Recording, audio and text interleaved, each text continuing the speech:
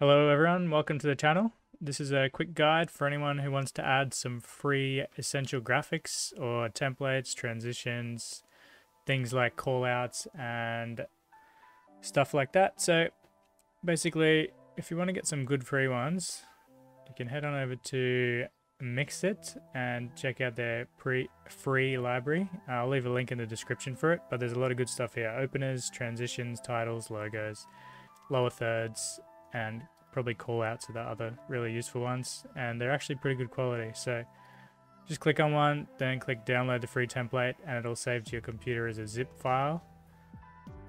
I'll just open so they'll save as a zip file, you extract it, and you'll get an MOGRT file, which we can import into Premiere. So to add them to Premiere, just open a project, go to Essential Graphics, should be on the right hand side, and then click this little icon here, Install Motion Graphics Template.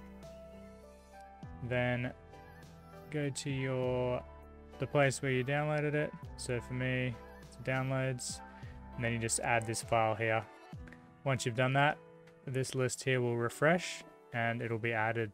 Now, doesn't matter what the file name's called, it always goes under something random, so it's best to rename it straight away. So just right click on it when you find it, click rename and give it a new name. Otherwise you'll spend ages looking for it. Now, if you can't find the essential graphics option on the side here, you go up to window, you can enable it here, or you can change the workspaces and set it to uh, graphics and you can find it that way. And that's pretty much it. So you can add whatever you like in here. Uh, just keep an eye out for Adobe After Effects ones. They'll come up with an error, but you shouldn't see them too often. Uh, yeah, anyway, if you find that helpful, please swing us a like and a subscribe, and I'll see you next time. Thanks for watching. See you later.